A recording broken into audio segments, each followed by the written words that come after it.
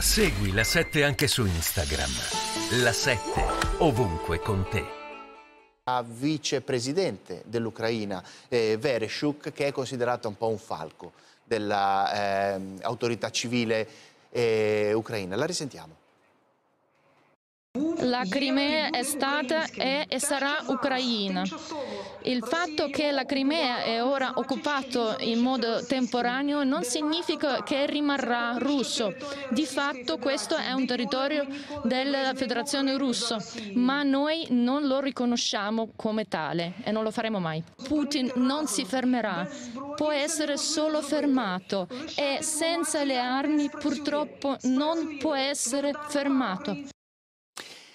Allora, questo è sicuramente un falco, più di Zelensky, che tra l'altro questa mattina eh, riferisce della difficoltà, della complessità dei negoziati per riuscire a far evacuare tutti coloro che stanno ancora dentro le viscere dell'acciaieria Azovstal, ma aggiungo, e poi le lascio la parola eh, generale, che il capo dei negoziatori ucraini, Podoliak, usa eh, espressioni altrettanto forti.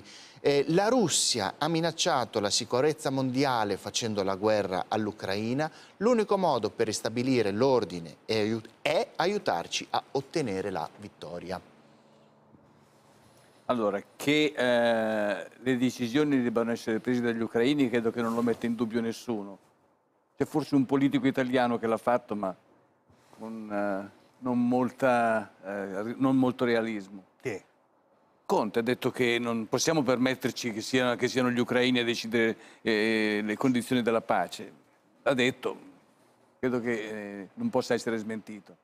Eh, quindi tocca agli ucraini decidere eh, che eh, la guerra sia stata lanciata contro l'Occidente, lo dicono i russi, sì. Eh, l'ha detto lo stesso Putin lunedì scorso in quella dis breve discorso che ha fatto a, durante io la parata militare. Bloccata, e quindi io credo che eh, oggi abbiamo una situazione molto chiara. Uh, c'è un'operazione militare in corso, una guerra in corso.